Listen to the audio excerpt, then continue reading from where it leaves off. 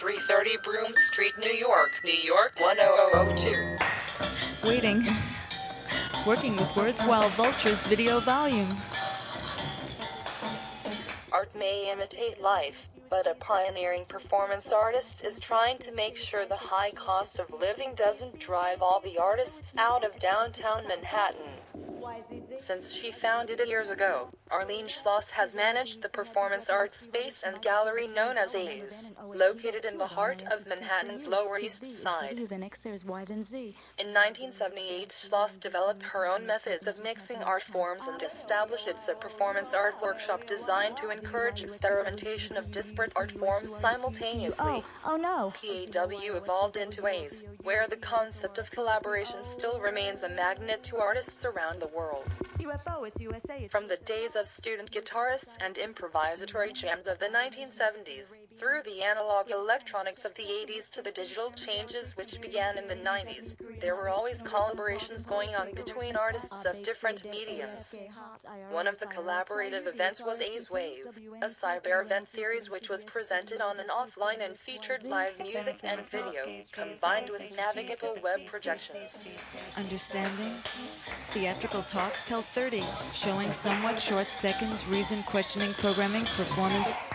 Schloss Pad, dubbed A's quickly became the place to be for those in the know. Art superstar Jean Michel Basquiat, who was a nobody when Schloss first met him, jammed on a keyboard in the back of her loft. Arlene Schloss has turned her Bowery loft into a salon for struggling artists who can crash on one of the four futons she keeps at her pad or in the two tents she pitched on her balcony. What Schloss is doing harkens back to the days before Soho was called Soho and when Manhattan was a mecca for artists from around the world. Energy fields? Going. Harmonic. Jam. July. Karma. Live. Making. My. Notes.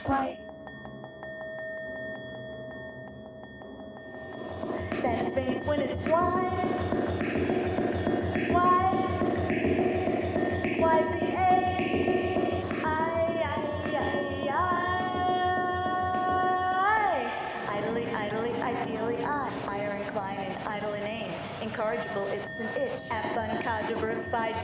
Glob, map, noir, ply, quo, rub, x, zap. Quit root, save time, unit face, will, yell, zero.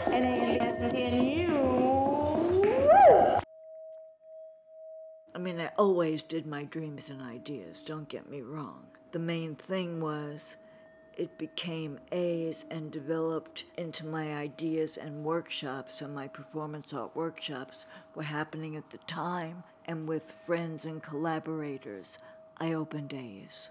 And it became official on October 24th, 1979.